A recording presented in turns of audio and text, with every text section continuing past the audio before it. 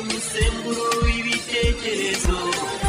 Byubaka ubumwe n'ubwiyunge urubuga rw'ubwisanzure mu nzira.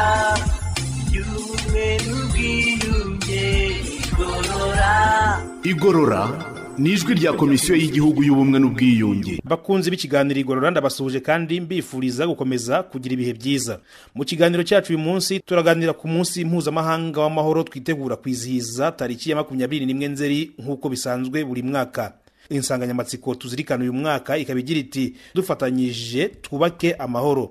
Muri iki kiganiro turarebera hamwe uko iyi nsanganyamatsiko isobanuye n'uko yafasha kubaka amahoro mu banyarwanda b'ingeri zitandukanye bitewe n'ibihe bitandukanye. Ni muri urwo rwego iki kiganiro kibanda ku ihame ry'ubumwe n'ubwiyunge ryo gushyira imbere ubunyarwanda n'inyungu z'abanyarwanda bose mbere yo kwibonamo amoko amasano idini akarere igitsina n'ibindi. Turi kumwe n'umunyamabanga nshingwabikorwa wa komisiyo y'igihugu y'ubumwe n'ubwiyunge bwana fideli ndayisaba aho atugaragariza uko insanganyamatsiko tuzirikana uyu mwaka ihura n'ibikorwa bya buri munsi bidusaba ubufatanye ngo twubake amahoro. Turaganira kandi na bamwe mu baturage bakora ibikorwa byo kubaka amahoro bishakamo ibisubizo birimo ubuvuzi no kwiteza imbere. Ntimujye kure muri kumwe nanjye efuremu murindabigwi wabateguriye iki kiganiro nkaba ngiye no kukibagezaho mu kanya gatoya.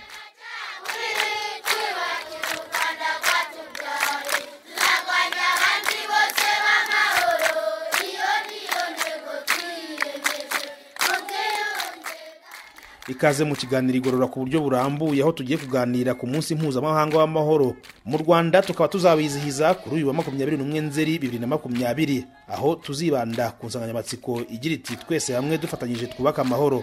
Ese iyi nsanganyamatsiko ishatse gusobanura iki? Nibyo umunyamabanga nshingwabikorwa wa komisiyo y'igihugu y'ubumwe n'ubwiyunge bwana fideli ndayisaba atangira adusobanurira. Iyi nsanganyamatsiko iributsa abatuye isi ko buri wese akeneye amahoro kandi ko buri wese afite n'inshingano yo gutuma abandi bagira amahoro. Amahoro asobanura byinshi. Amahoro birenze kuba abantu bafite ituze bafite umutekano kuko nta midugararo ihari nta ntambara zihari nta makimbirane ari hagati y'abantu haba mu muryango ababana mu muryango haba mu baturanyi haba hagati y'ibihugu ibihugu n'ibindi. Birenze kuba abantu bumva nta kibabangamira bikagera no ku kugira amahoro kuko umuntu afite iby'ibanze bituma koko yumva aguwe neza. Ibyo rero bigasaba ubufatanye. Kuko buri wese abikeneye buri wese akeneye ituze buri wese akeneye umutekano buri wese akeneye umudendezo buri wese akeneye kugera ku by'ibanze bituma amererwa neza yumva aguwe neza. Ari ibijyanye n'amafunguro ari ibijyanye n'ubumenyi kwiga ari ibijyanye no kubona icumbi ibikorwa by'ubucuruzi ibindi bikorwa indi mirimo itunze abantu byaba ari ukugira ubuzima bwiza ugashobora kubona uko ubaho neza wivuza ibyo byose bigira uruhare mu kumva umuntu afite amahoro. Ibyo rero bigasaba yuko twese dufatanya bimwe mu byo abanyarwanda bafatanyamo ngo babone amahoro asesuye bishingiye ku buvuzi aho leta y'u rwanda yashyizeho uburyo bwo kwisungana mu kwivuza. Ibi bikaba bituma nibura buri munyarwanda abona ubuvuzi kandi bitamugoye nko kuba yakwirwanaho wenyine. Bwana fideli ndayisaba arakomeza abisobanura.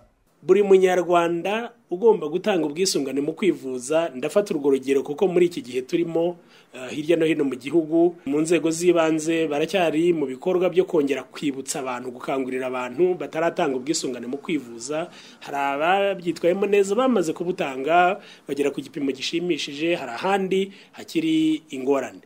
Aho ngaho kuba hari ugomba gutanga ubwisungane mu kwivuza mituweli de akaba atarayigira ubu ngubu biba bibangamiye amahoro. Bibangamiye amahoro mfashe kuri rwa rugero kuri we kuko adafite iby'ibanze bituma yizera yuko aramutse arwaye yakwivuza ntabe yarembera mu rugo. Bibangamiye amahoro kuko kuba ataratanga ubwisungane mu kwivuza umusanzu w'ubwisungane mu kwivuza hari abadashobora kuvurwa neza kuko amavuriro atabonye ya mikoro akenewe kugira ngo yinjire mu mavuriro yacu yinjire eh, haboneke uburyo bwo kwishyura imiti kwishyura ibikoresho kwishyura ibikenewe kugira ngo abantu bose bashobore kuvurwa neza. Ubwo ni rumwe mu ngero eh, mfashe mu kugaragaza eh, yuko dukeneye ubufatanye kandi urugero eh, runagendeye ku bufatanye ubwabwo kuko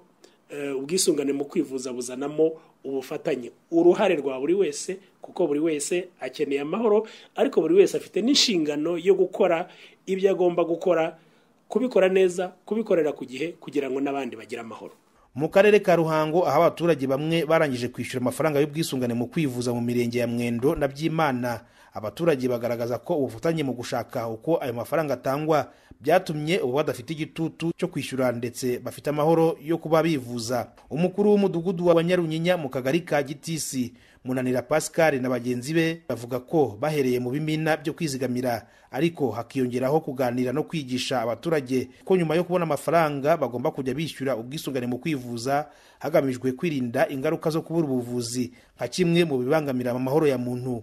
Rwose nagira ngo mbabwire ko ibanga nta rindi ni imiyoborere ni imikorere n'imikoranire y'inzego. Cyane ko habaye ikintu cyitwa gukoresha amatsinda na bwa buyobozi kuko n'ubu ngubu mu ntego dufite z'umwaka utaha bibiri na makumyabiri na rimwe bibiri na makumyabiri na kabiri ni uko amatsinda yiteguye n'ubundi gutanga mituweli y'icyo gihe. Naho ku badafite ibimina byari bigoye kwishyura byasabye kubasura bakumvikana uko bajya batanga amafaranga make make ku buryo umwaka wa mituweli watangiye baramaze kwishyura. Eh, akaduha igihe cya gihe tukacyandika cyagera tugasubirayo. Nta gahato twigeze tubahatira twubahirizaga igihe yaduhaye. Cyagera tugasubirayo akaba ya- yayishyura cyangwa akongera akaduha ikindi gihe. Twasanga nta n'icyo aranageraho ntiducike intege.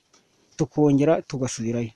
Noneho yabona ko kuko ba ba bantu bafite ikintu bashaka kugeraho uwo muturage nawe akageza hakiga ati abantu baje uyu munsi nabahaye iki gihe n'iki kumba nabonye amafaranga. Bombi baragarutse ntibarabona. Noneho icyo gihe wasubirayo nk'inshuro ya gatatu ugasanga noneho yabigezeyo nubwo hari ibikorwa byo kubaka amahoro bitandukanye hari n'ibiyahungabanya by'umwihariko ku rubyiruko. Ari rwo rwanda rw'ejo hazaza aho rubaswe n'ingeso zitandukanye zirimo ibiyobyabwenge n'inda z'imburagihe mu bakobwa bato.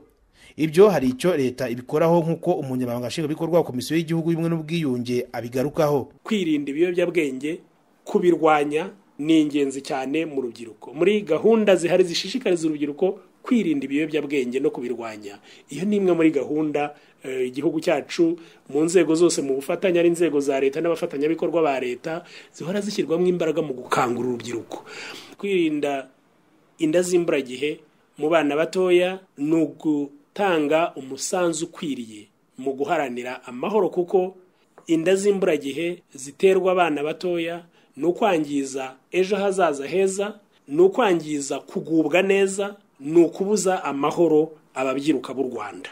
Kandi ahangaha dukeneye twese dufatanije. Ari ba bana batoya ari urubyiruko hari ibyo bakora ubwabo kugira ngo birinde kwirinda ibibashuka kwirinda ibibagusha mu kuba baterwa izo nda. Abatera abana inda kwirinda kujya muri ibyo bikorwa by'urukozasoni kujya muri ibyo bikorwa by'ubugome kuko ni ukwangiza ni igikorwa kibi cyo kwangiza ubuzima eh, bw'umwana no kumubuza amahoro no kubuza amahoro mu muryango wose kuko iyo umwana eh, atewe inda y'imburagihe mu muryango habura amahoro.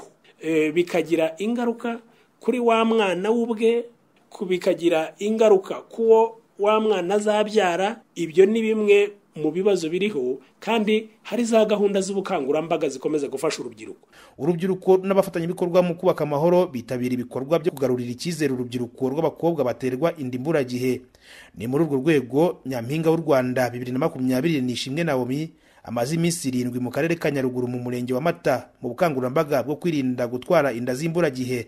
Hagamije kubaka amahoro mu bakobwa babyaye imburagihe no kurinda abatarahura n'ibyo bibazo kwangirika. Nkaba naje gutanga umusanzu nka nyampinga baganiriza nkabereka ko nubwo eh, batwaye inda zitateganyijwe ntabwo ariho ubuzima bwabo burangiriye.